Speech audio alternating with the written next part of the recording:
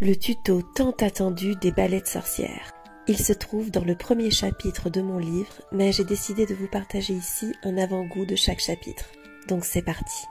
Protéger son seuil est capital pour une sorcière, et ces petits balais aux plantes magiques remplissent parfaitement cette fonction. Choisissez trois bâtons de taille égale et nouez votre ficelle une première fois autour de celui-ci. Puis placez vos branches de romarin d'un côté puis de l'autre et nouez encore plusieurs fois pour maintenir fermement les herbes autour du bâton. Vous allez maintenant pouvoir le décorer à votre convenance. J'aime y ajouter quelques rondelles d'orange séchées pour la joie et la positivité. Sur mes balais de lavande, je mettrai de la cannelle pour la chance et le succès. Et sur le thym, du quartz rose pour le cœur et l'intuition. Et voilà,